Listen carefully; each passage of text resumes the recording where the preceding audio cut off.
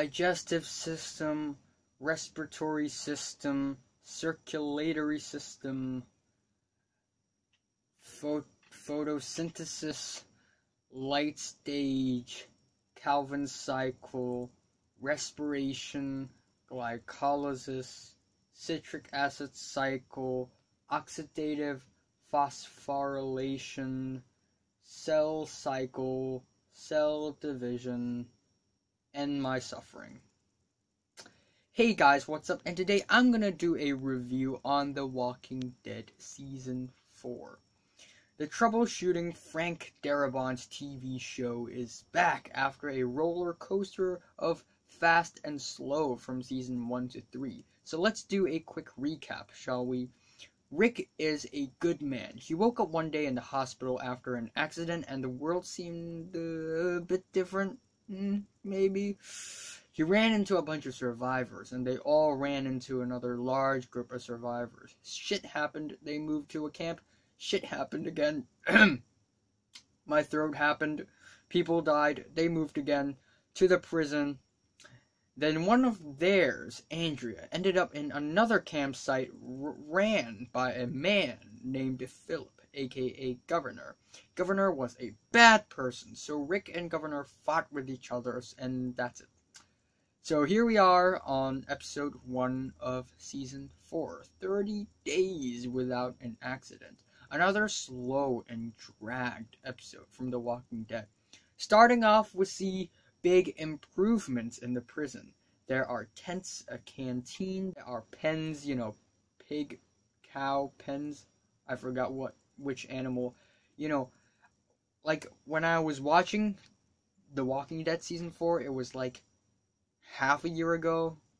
So don't judge me. And then there are farmland, even jail cells looked a little bit cooler in the prison. And we see people poking at walkers through the fence for like five minutes. So yeah, like there's one scene in this episode where they just poke walkers through the fence.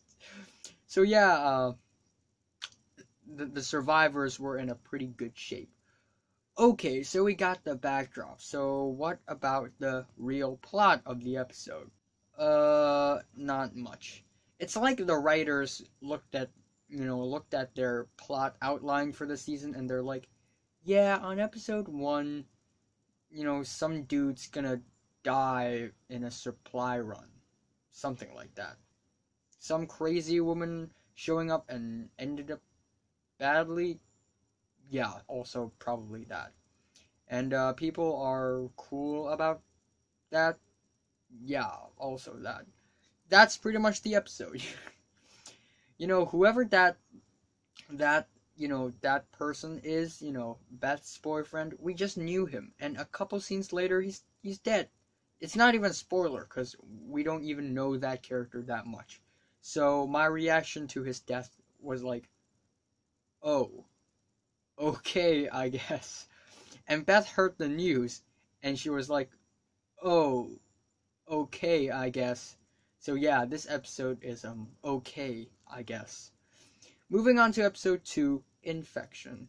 It's kind of weird, but this episode is actually quite excellently written. First, there's this flu thing everyone was dealing with, and people were dying because of this flu, so it's like the Walking Dead version of Black Death. And there's a lot of scenes on this episode that started some suspenseful storylines. For example, the character arc of Lizzie had begun, and the ending also made Tyrese very angry.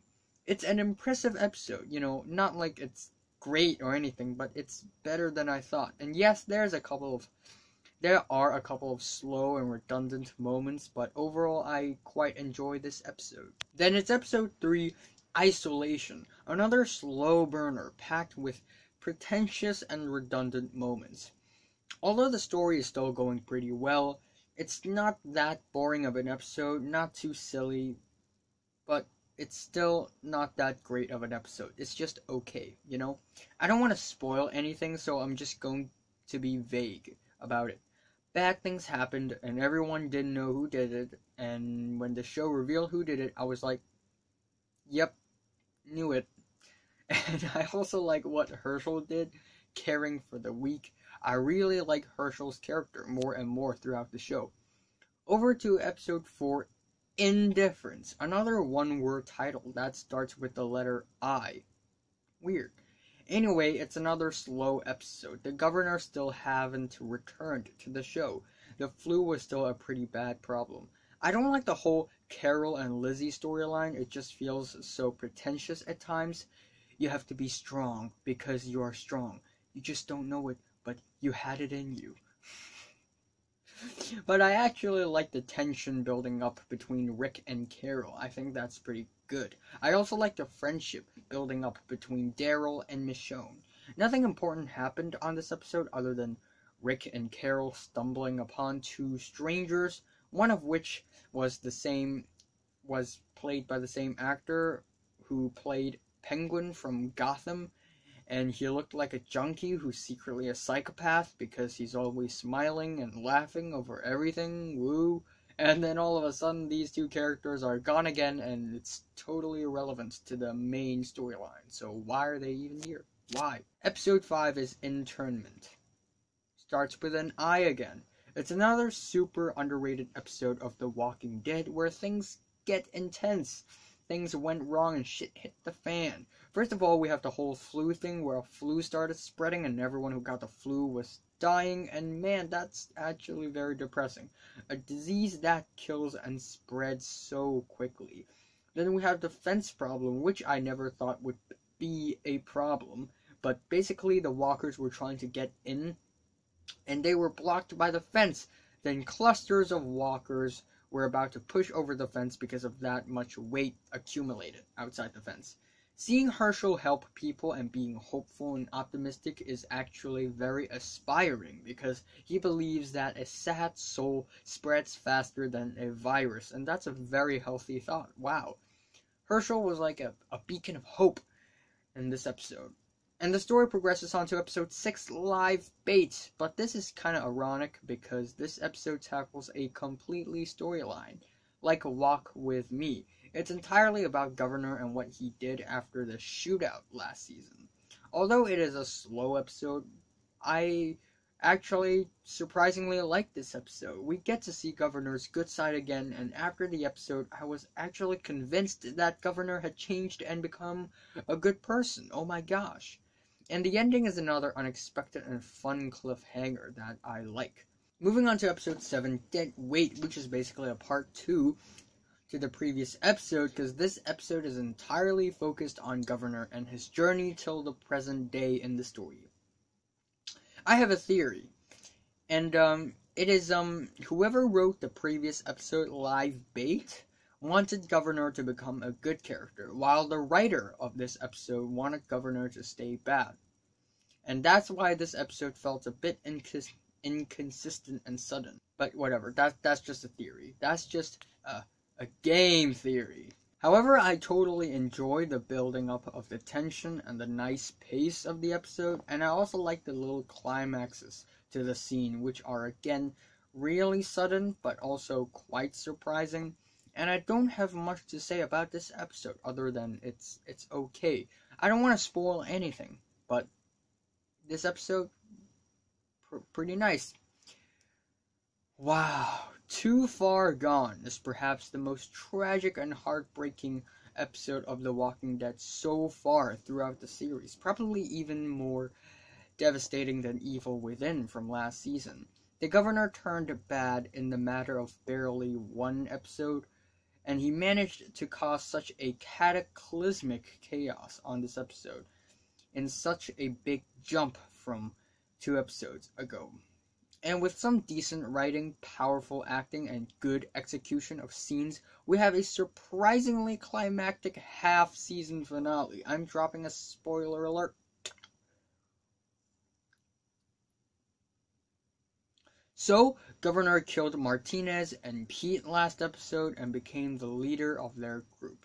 And then, because of his personal grudge with Rick and Michonne, he decided to trick all of his followers to attack the prison.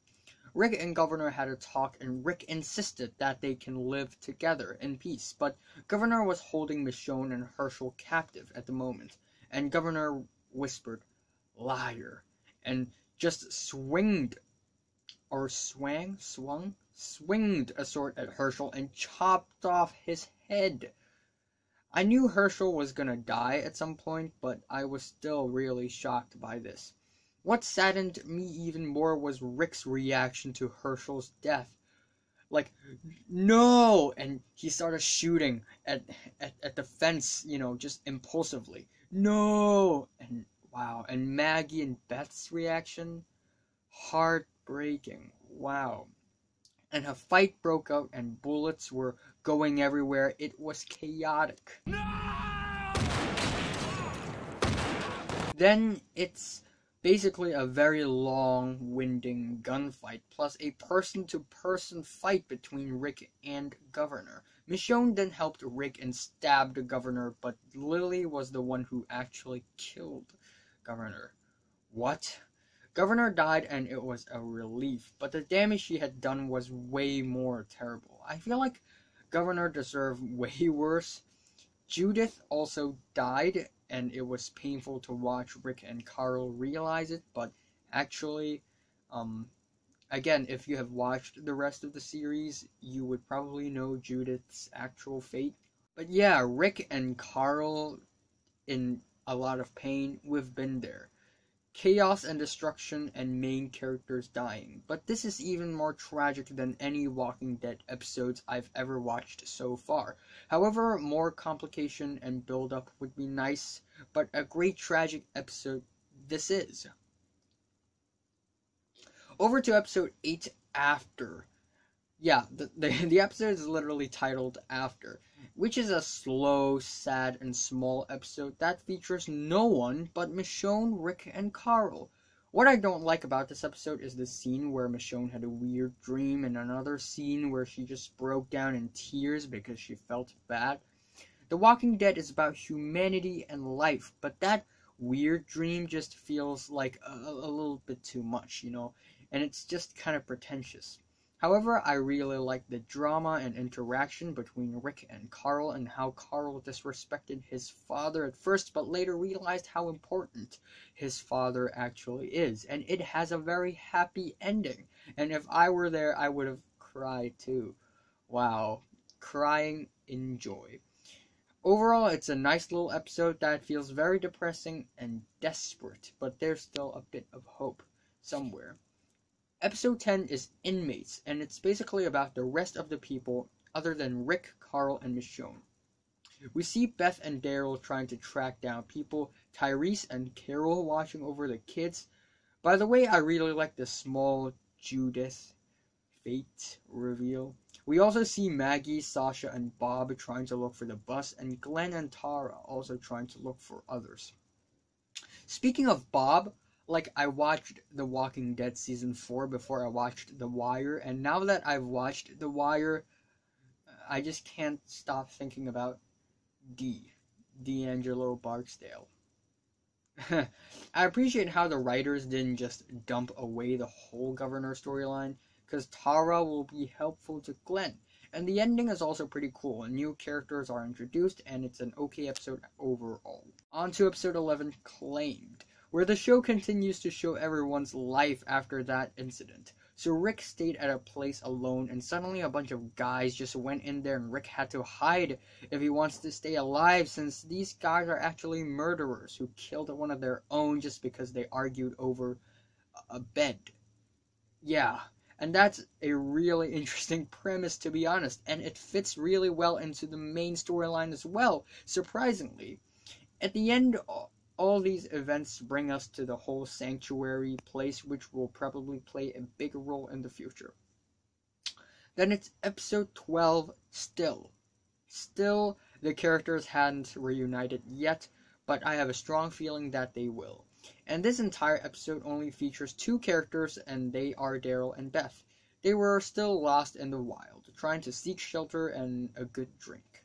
And that's pretty much the episode. They haven't found the sanctuary yet, and they argued. They were cool again, and that's it. It's a filler episode, and you know it. People who tries to defend this episode will say that it's a great character development episode, but honestly, Daryl and Beth were pretty much still the same before and after this episode. Uh, but honestly, um, yeah, unlike the Rick and Carl development episode, you know, Rick and Carl actually had a father son relationship, and Carl struggled to survive on his own. I don't hate this episode, but it's not that impressive too. It's kind of boring and mediocre, to be honest. Moving on to episode 13, Alone, where it mainly focuses on two storylines, which is Daryl and Beth, and Maggie, Sasha, and Bob. The first half of the episode is really just nothing but more Daryl and Beth. Then they found a place to settle in and things happened and they left again, which is actually a bit intriguing and entertaining because Daryl and Beth encountered new people who kind of separated them apart. Anyway, concerning the other storyline, Maggie was really eager to look for Glenn alone because they were separated too, and Sasha had second thoughts about looking for Glenn and heading to this Terminus sanctuary. But at the end, they were together, and it was really optimistic. And then Bob was there too. Like when I was watching Walking Dead season four, I didn't know Bob was also the same dude in The Wire. The story progresses on to episode 14, The Grove, which is a quiet, slow, dark, and somber episode. This entire episode shows the journey of Carol, Tyrese, and other kids working their way to Terminus. And the first half of the episode is just really slow and usual, but all these drama happened in the last act, which escalated very quickly, so I'm giving a spoiler alert.